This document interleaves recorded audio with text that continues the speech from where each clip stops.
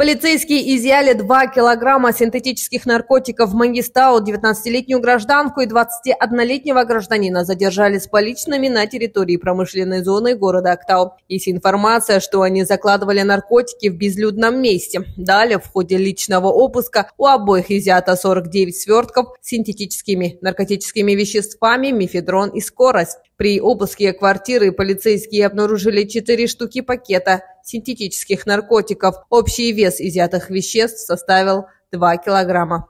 Подозреваемые дали признательные показания. Данный факт был зарегистрирован в ЕРДР Управлением полиции города Актау по статье 297, части 1 Уголовного кодекса Республики Казахстан. Ведется досудебное расследование. Также назначено судебное экспертное исследование. Иная информация в интерес следствия не разглашается.